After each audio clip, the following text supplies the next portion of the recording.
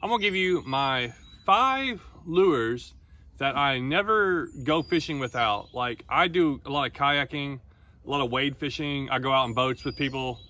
Um, so I am changing what I fish for um, and how I fish all the time.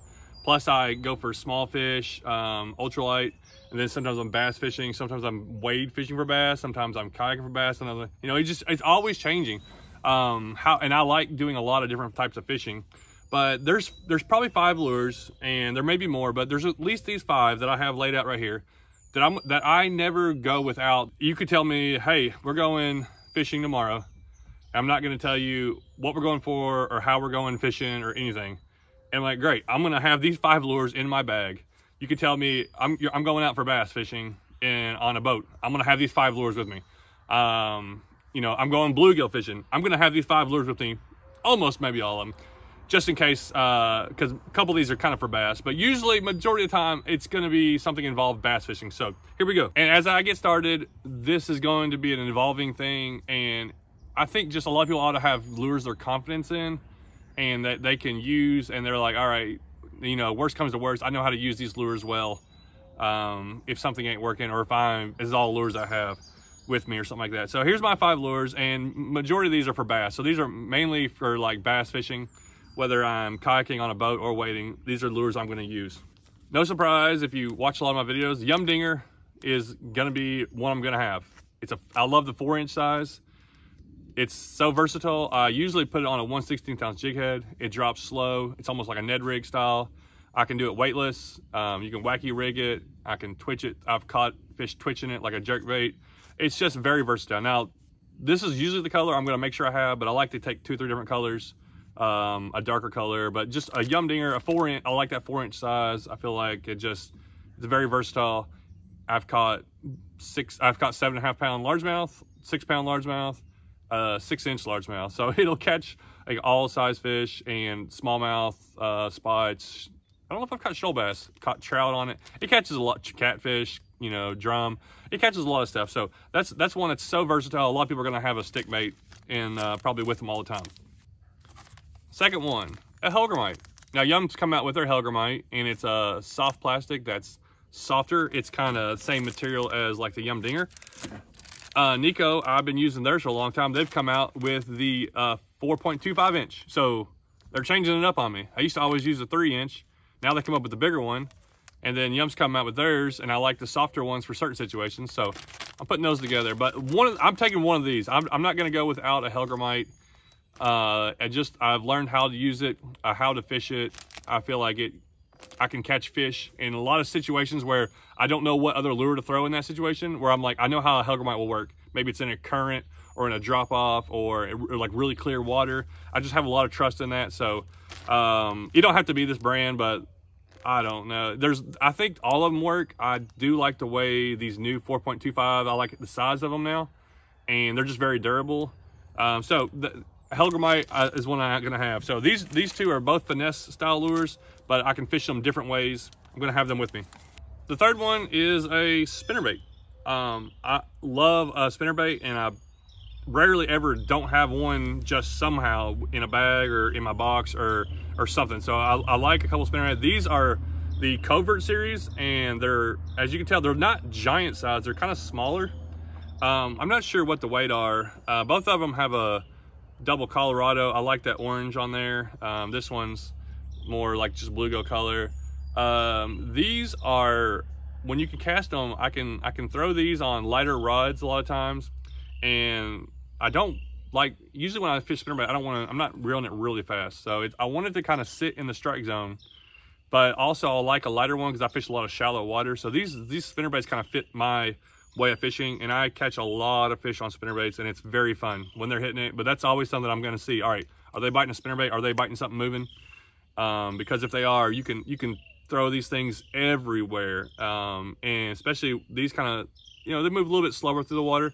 So like if I hit a bank and I wanted to kind of stay on that bank for just a little while or just over a log for a little while, I kind of slow it down. But spinnerbait and like these are the Booyah Covert series.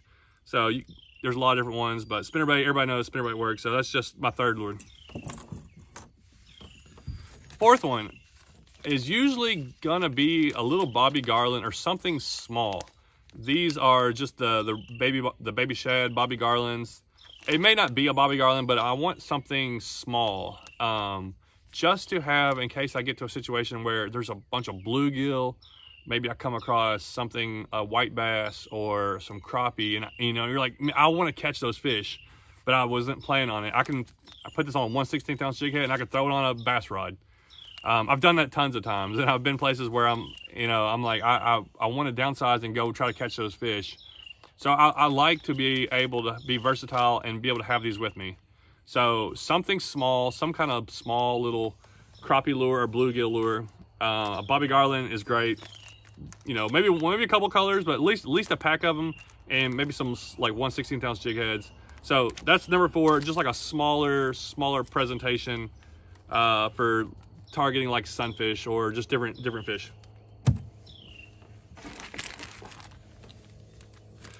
All right, for this fifth one, it may kind of change over time. Um, I love a Rebel Craw. I used to always go, every, I always, always have one with me, and I usually still do. I love a little crankbait, some just to have um, for mixing things up. Uh, a couple different things like that, but I'd say what I like to have is just a small swim bait. These are the Yum Pulse ones. They're three and a half inch, and I'm maybe like I like to get like a three inch one or two and a half to three and a half inch in that size. Um, it's very versatile. You can fish them as a Ned rig. Um, you can fish as a swim bait. Fish it as a trailer. I got a spinner bait actually in here with them. Um, maybe it's a trailer for your spinner bait or chatter bait. Uh, or maybe you put it on a jig. It's like there's a lot you can do with just a three inch, three and a half inch swim bait. And it's a very versatile lure. And I, I, this is probably my fifth one. You know, it might change a few times, but majority majority of the time, 90 percent of the time, anywhere I go, I'm having all five of these with me. I'm gonna have them in my bag or in my in my, some kind of crate or whatever I, in, in, my kayak. Definitely, if I'm kayaking, I'm having these.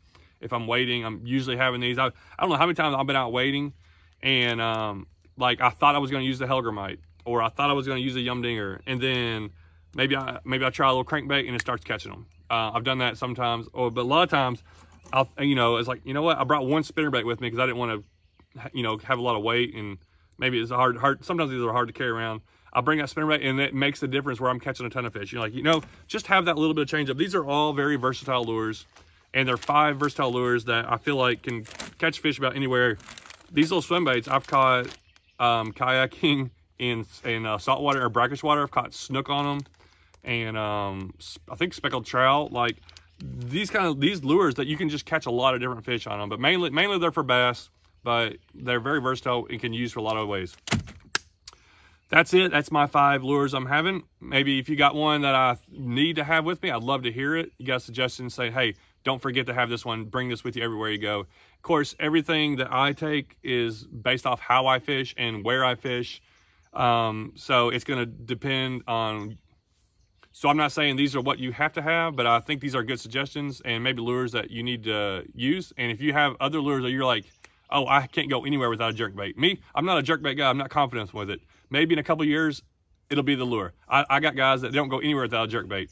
Uh, maybe yours is like a bigger swim bait or something like that. So you you pick out yours, but make sure you. I like to like downsize when I'm going out kayaking or or wading or something just take the ones that you know you're going to use and you know that work that you have confidence in and then that way you're not bombarded with so many lures and so many choices thanks for watching